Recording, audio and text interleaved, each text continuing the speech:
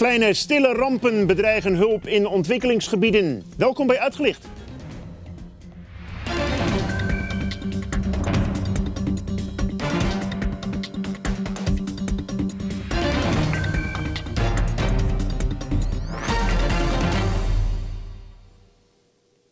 Goedenavond. Afgelopen maand was er een actie voor de droogte in Oost-Afrika en hoorden we van modderstromen in Colombia.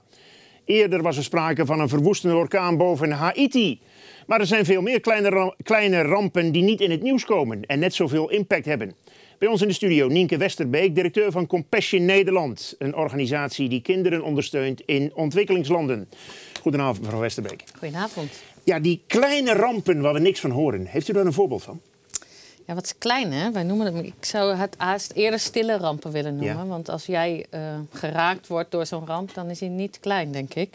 Ja, een, uh, een, een aard, of een uh, ramp die we denk ik wel hebben gehoord, maar eigenlijk niet zoveel meer, is de aardbeving in Ecuador. Mm -hmm. Een paar maanden geleden. Ik weet niet of, of je dat gehoord hebt. Nee. Maar, nee, ja, dat, en het was best wel een grote aardbeving. En um, nou ja, wij hebben daar uh, heel veel sponsorprojecten. En um, Ja. uit één van die uh, projecten um, uh, komt dan een, een, verhaal waardoor het voor ons ook kleur krijgt. Maar hoe komt het dan dat wij dat niet horen? Want het ja, is... wij zijn gewoon heel druk bezig met bijvoorbeeld eh, de verkiezingen in Amerika of de Ja. verkiezingen in Nederland. En dan, uh, dan zijn we gewoon niet zo geïnteresseerd, denk ik, Mm. in rampen die ons niet echt raken. En dan wordt zo'n stille ramp weggedrukt. Nou, het komt in elk geval niet in het nieuws. Maar Ja. de mensen die daar uh, leven en daar werken, ja, die zijn natuurlijk heel druk mee. Ja. En die zijn misschien weer wat minder druk met de verkiezingen in Amerika. Ja, want wat had, had deze ramp als Ja. gevolg? Nou, deze, dat, dat er natuurlijk heel veel huizen uh, instorten. Dus dan heb je het eerst over mensen die uh, onder het puin belanden en die gered moeten worden. Maar dat heeft ook altijd impact op, op sponsorkinderen en hun gezinnen in onze projecten. En als, zij, als er dan een ramp is, dan krijgen we altijd informatie of er ook потолок, kinderen um, betrokken zijn daarbij. En als Ja. het kinderen betreft van sponsors in Nederland, dan krijgen de sponsors daar ook altijd uh, bericht van. Ja, want u werkt wereldwijd met kinderen. Ja, wij werken in 25 landen. Dat was 26 landen. Maar Ja. helaas, India uh, is uh, helaas gesloten voor ons. Maar we werken in 25 landen. Dat zijn over het algemeen stabiele landen. Mhm. zonder oorlog. waar we goed langdurig kunnen werken. Ja. Nou was er ook sprake van een, een stille ramp, zoals u dat dan noemt, eh, in Ethiopië met een Mm. Ja. vuilnisbelt. Ja. Vertelt u daar iets van? Ja, je kunt je, wij kunnen ons dat überhaupt niet voorstellen, zeg maar, dat er een vuilnisbelt bloot ligt, zeg maar. Nou, dat is in dat soort landen natuurlijk uh, vaak wel zo. En uh, ja, dat, dat is het levensonderhoud van heel veel mensen. Ja. Dus er werken allerlei mensen uh, en ook vaak kinderen op zo'n vuilnisbelt. En sterker nog, die hebben daar ook huisjes op staan. Dus op het moment dat zo'n vuilnisbelt instort, dat betekent dat tenminste ook in ieder geval hun huis verdwenen is. Mhm. En uh, ja, daar zijn ook kinderen overleden in, in de vuilnis. Ja, die mensen leven die- ja, die letterlijk, leven op die vuilnis. op de vuilnisbelt. Ja. En die storten in en daarbij Ja, ja. komen dan ook kinderen om het leven. Daar komen kinderen om het leven. Ja. Ja. En, uh, en ook mensen ja, die dan hun huis en, uh, kwijtraken en daar dus niet meer kunnen wonen. Ja. Ja. Nou zie je vaak er in de wereld, als er iets gebeurt, dat er hulp op gang komt, noodhulp. Maar u bent geen noodhulporganisatie. Nee, en, en je ziet dat er hulp op gang komt, maar altijd wel heel erg laat. Ja. Dus pas als, uh, nou ja, ik, ik, toen ik hier naartoe reed, moest ik denken aan, ik weet niet of je dat gezien hebt, uh, Arjan Lok uh, plaatste op een gegeven moment een beeld, omdat hij voor Mettendatenprijs was Mhm. geweest, van zo'n vrouw die haar laatste koe, uitgemergelde koe, zeg maar, een soort wegsleept. Dus pas als we, als we het heel letterlijk kunnen zien dat Ja. mensen doodgaan van de honger, dan denken we, oh, misschien moeten we iets doen. Ja. Maar de tijd daaraan voorafgaand wordt het natuurlijk vaak best- wel bericht over al die ellende. Maar dan is het blijkbaar nog niet heftig genoeg voor ons om te reageren en om een actie te houden. Het moet eerst binnenkomen bij ons. Ja, het moet maar wel extreem binnenkomen. Mm, kin-. Kinderen, uitgemergelde kinderen in Afrika. Of doodgaan, dat je denkt, oh, nu moeten we iets doen. Maar dan ben je natuurlijk eigenlijk al te laat. Ja. Is dat dan moeilijk voor u dat u dat beeld van uw werk normaal ja, eigenlijk niet binnen kunt brengen bij mensen? Ja, nou, wij, wij zijn geen noodhulporganisatie. Dus wij, wij doen met dat soort acties ook nooit mee. Want wij hebben collega's die hier heel goed in zijn Mhm. en hier speciaal voor zijn. Dus wij, uh, wij zijn echt een ontwikkelingsorganisatie. Dus wat wij proberen is eigenlijk dat de mensen die in ons project zijn, om de kinderen en hun ouders, eigenlijk juist veel eerder ehm, te helpen dan wanneer die ramp eraan komt. Zeker droogte en daardoor dus uh, een oogst die niet opkomt. Ja, dat zie je maanden van tevoren aankomen. Ja. Nou, daar kun je dus op anticiperen al maanden uh, daarvoor. En dat proberen we dan ook met ja, onze dat doet projecten. U, maar u moet ook daar geld voor bij elkaar zien te krijgen. Ja, maar dat geld dat, dat krijgen we eigenlijk uh, binnen omdat wij met sponsors werken. En die sponsors betalen elke maand een maandbedrag. Okay. En daarmee uh, hebben we natuurlijk een soort ongoing stroom. En daarnaast vullen wij onze noodfondsen eigenlijk gedurende die tijd. Ja. En, uh, en als er echt een extreem grote ramp is, dan zeggen we wel tegen onze sponsors, vaak vooral tegen degenen die sponsorkinderen in dat gebied hebben, van wij hebben een, een noodfonds, wilt u mm -hmm. daaraan bijdragen? Um, maar dat is echt op een ander level dan uh, noodhulporganisaties. Ja. Want die vliegen dan natuurlijk in met heel veel pakketten. En, en die beslaan dan een heel groot gebied. En wij doen eigenlijk ons eigen werk, maar dan nog met iets erbij. Ja, je zou dus kunnen zeggen dat u ja. kiest voor een langdurige relatie ja, met dat... een bepaald gebied of land in de wereld. Ja, dat is eigenlijk eigenlijk onze totaaldoelstelling. Ja. ja. Beperkt u dat ook in de keuze? Ja. U zegt volmondig ja. Ja, en ik, vind, ik denk ook dat dat goed is, zeg maar. Ik denk dat elke organisatie moet, moet kiezen waar die voor gaat en dat dan heel goed doen. Mm -hmm. En wij hebben gezegd, wij gaan voor kinderen en dat gaan we heel goed doen. Ja. ja. Maar zoals die vuilnisbelt in Ethiopië, wat ja. plotseling gebeurt, zo'n ja. zo'n ramp wat dat toch is... Ja, daar bent u dan dan ja. moet u ook snel geld voor bij elkaar Ja, maar het voordeel is natuurlijk... ik heb niet een televisieploeg nodig... die dat de wereld inslingert mm -hmm. en dan pas geld komt. Want ik heb een kerk ter plekke. Dus op het moment dat die ramp gebeurt... zijn mijn mensen, die zijn daar letterlijk. Ja. En die gaan naar zo'n gezin toe en die zeggen... wat kunnen wij doen om jullie te helpen? En als dan zeggen wij hebben een nieuw huis nodig... dan zeggen ze wij gaan in ons noodfonds kijken... en we zorgen ja. dat je een nieuw huis krijgt. En dat geld is er dan al. Alle landen waar u zit, werkt u er samen met de overheid? Wij werken sowieso um, zeg maar niet direct samen met de overheid. We, we vallen natuurlijk gewoon uh, altijd binnen de restricties van ja. de overheid. Maar wij, uh, wij werken altijd via de lokale kerk. Hmm. Ja. Maar wel met medeweten van de overheid? Altijd. Ja. ja. Dat ging uh, mis vorig jaar ja. in India. Ja. Vertelt u eens, hoe, hoe zit dat precies? Want u bent daar weg inmiddels. Inmiddels zijn wij gesloten, laat ik het zo zeggen. We hebben de kantoren gesloten en... Um, uh, en de geldstromen zijn ook gestopt. Uh, dat moest ook, want uh, de overheid heeft ons onze financiën bevroren... Mm -hmm. zonder ons daarvan van tevoren in kennis te stellen. Dus wij werden geconfronteerd met het feit dat wij geen projecten konden uitbetalen... dat we onze medewerkers niet konden uitbetalen... dat we niet konden voorzien in schoolgeld en dat ja. soort dingen. Dus op een gegeven moment was ons geld op... En toen hebben we moeten besluiten om de projecten te sluiten. Maar uh, het mooie van het werken samen met de kerk betekent, kerk gaat nooit weg. Mm -hmm. De kerk blijft. Uh, we hebben natuurlijk, ja, we hebben, zijn um, even, volgens mij 45 jaar in India geweest. Dus wij hebben een langdurige relatie ook opgebouwd met, met de kerken. Uiteindelijk zaten er 145.000 kinderen in de projecten. Zo. Ja. En de kerk, met de kerk hebben we veel overlegd, want het heeft lang geduurd voordat we echt. Um, nou ja, wilden geloven dat we ook weg moesten, dat ja. het niet meer goed kon komen. Ze hebben natuurlijk veel overlegd met de kerken. Wat als? Wat gaan jullie doen als de geldstroom ophoudt? Zou het kunnen zijn dat jullie op een nieuwe manier, een creatieve manier, misschien toch nog in de levens van de kinderen verschil kunnen maken? Ja, ja en we zien dat zeker 50% van de kerken vindt een manier om dat te doen.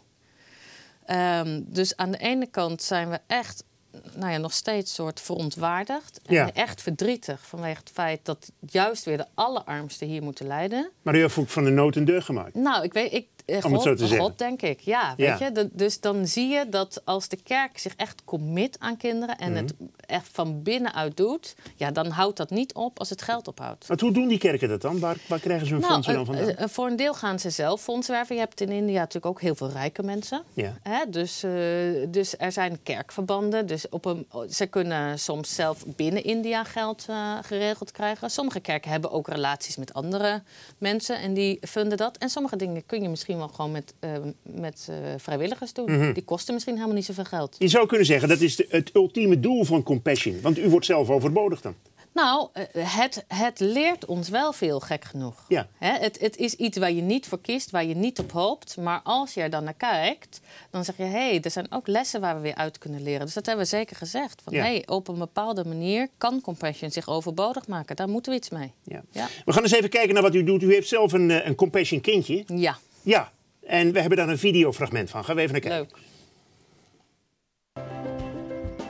Rollins woont in een van de sloppenwijken van Nairobi en dat is geen kansrijke plek om op te groeien. Hij groeide op zonder vader en had veel gezondheidsproblemen, maar inmiddels heeft hij een stiefvader en is er een broertje geboren.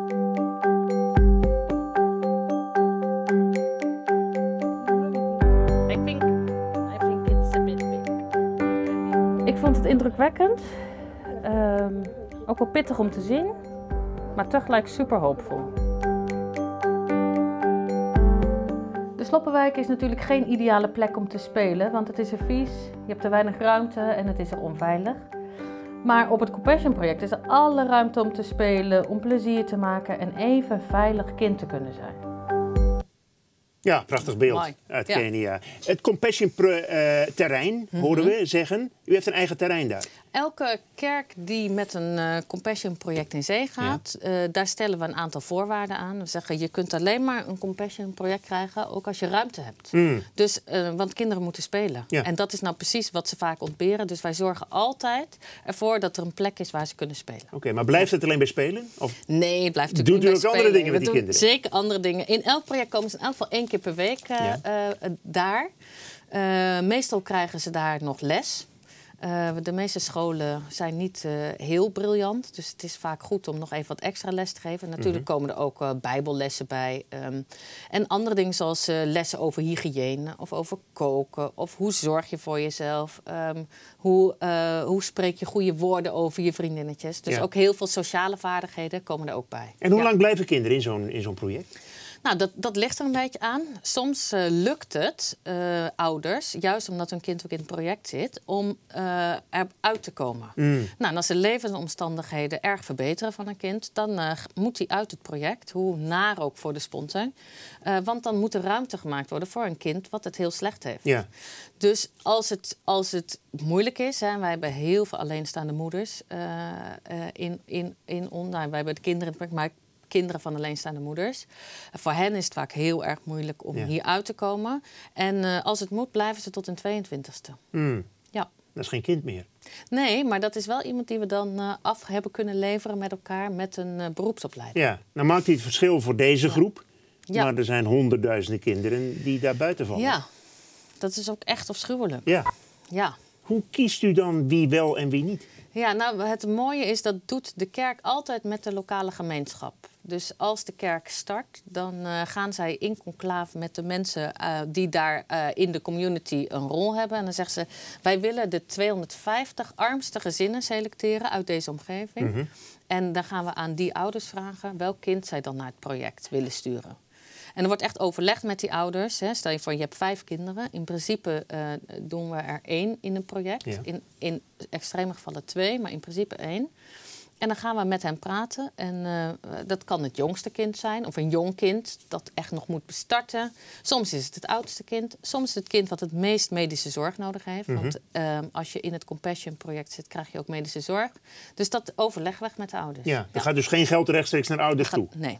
Nee. Want dan verdwijnt het misschien tussen wal Nou, ja, weet je, ik, ik kom, eh, kom helaas heel veel gevallen tegen waarin eh, de moeder een hele betrokken ouder is. Eh, en waar heel veel of afwezige vaders zijn of onverantwoordelijke vaders. En dan heb je het over alcoholisten, over gokverslaafde, drugsverslaafde oude, vaders. Ja.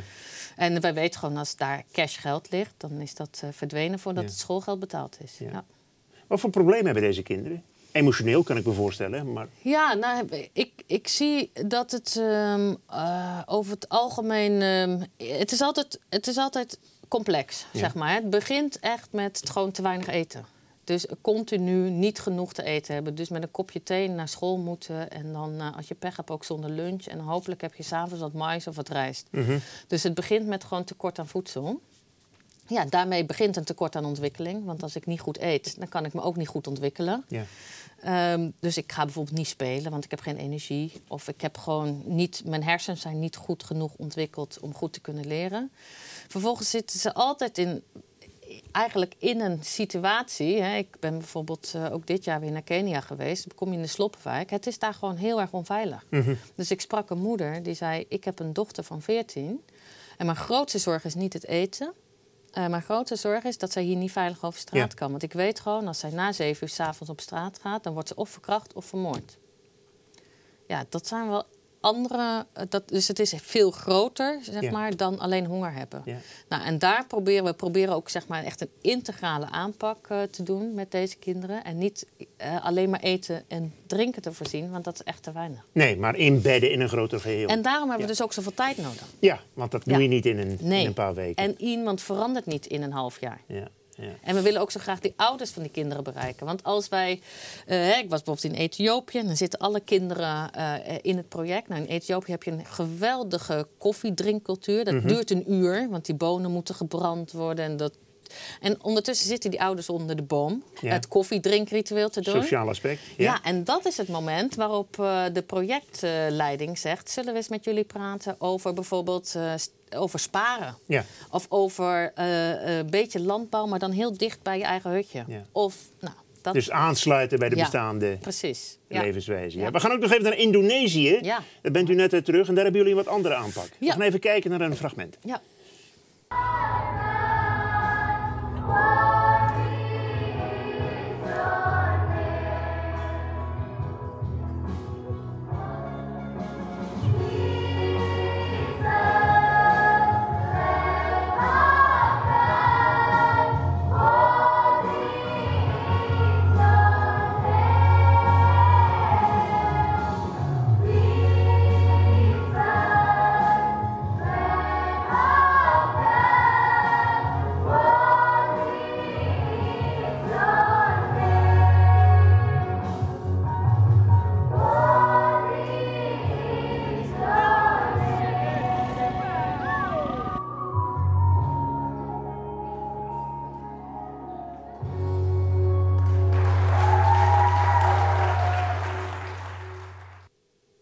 U was er met 40 vrouwen. Ja. Waarom die groep? Ja, waarom die groep? Ja, dat komt een beetje door mijn uh, vorige baan. Ja. Ik uh, ben natuurlijk hoofdredacteur geweest van Eva. En mm -hmm. daar deden we ook... Uh, Vrouwenmagazine van DO. Vrouwenmagazine bij DO. En daar deden we één keer in de twee jaar ook een goede doelenproject met een reis. Dus toen ik naar Compassion ging, dacht ik... nou ja, goede ideeën, die ja. moet je gewoon kopiëren. Neem ik gewoon dus, mee. die neem ik gewoon mee. dus ik, ik heb binnen Compassion hoe mooi zou het zijn als we met 40 vrouwen op reis gaan. en dan niet alleen op reis, maar dan gaan we ook echt verschil maken. Mhm.